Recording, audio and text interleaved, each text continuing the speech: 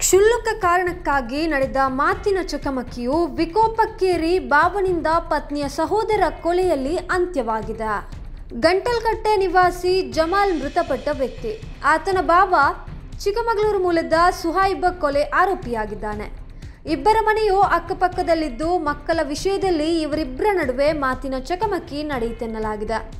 ಕೋಪದ ಬರದಲ್ಲಿ ಅಲ್ಲೇ ಇದ್ದ ಚಾಕುವಿನಲ್ಲಿ ಸುಹೈಬ್ ತನ್ನ ಬಾಬಾ ಎಂದು ನೋಡದೆ ಜಮಾಲ್ನ ಹೊಟ್ಟೆಗೆ ಇರಿದಿದ್ದು ತೀವ್ರವಾಗಿ ಗಾಯಗೊಂಡ ಜಮಾಲ್ ಕೊನೆಯುಸಿರಲಿದ್ದಾರೆ ಆರೋಪಿ ಸುಹೈಲ್ನನ್ನ ಮೂಡಬಿದ್ರೆ ಪೊಲೀಸರು ವಶಕ್ಕೆ ಪಡೆದಿದ್ದಾರೆ.